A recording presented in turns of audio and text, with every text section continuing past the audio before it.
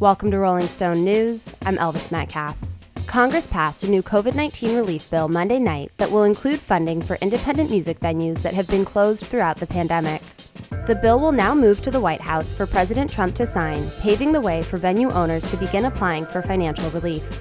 Speaker of the House Nancy Pelosi and Senate Minority Leader Chuck Schumer issued a statement noting that the bill includes, quote, 15 billion in dedicated funding for live venues, independent movie theaters, and cultural institutions.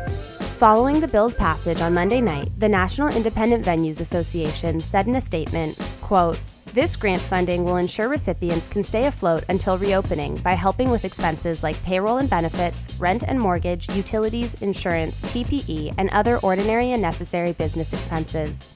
Speaking on the floor of the Senate, Schumer said, quote, These venues are so important to my state and so many other states across the country. They are the lifeblood of our communities. They were the first to close and will be the last to open. This bill gives them a fighting chance. Thanks for watching. For more on this story and all your music news, visit rollingstone.com.